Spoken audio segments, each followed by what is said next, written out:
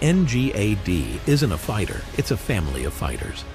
The U.S. Air Force calls it the Next Generation Air Dominance System, and it's being developed in near total secrecy.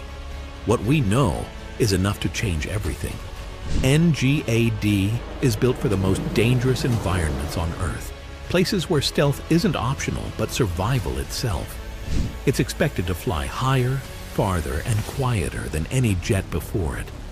Sources suggest it uses adaptive engines that change performance mid-flight, morphing between speed and efficiency at will.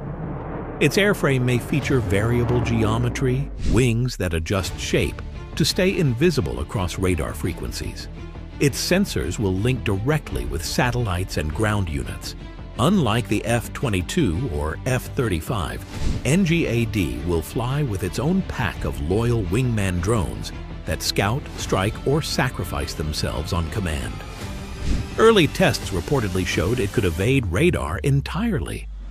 The program moves faster than any previous U.S. project, using digital design models that let engineers print, modify, and fly new parts within months.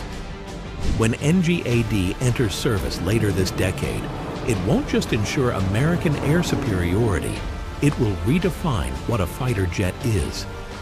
For every nation watching, it's the warning shot of a new era.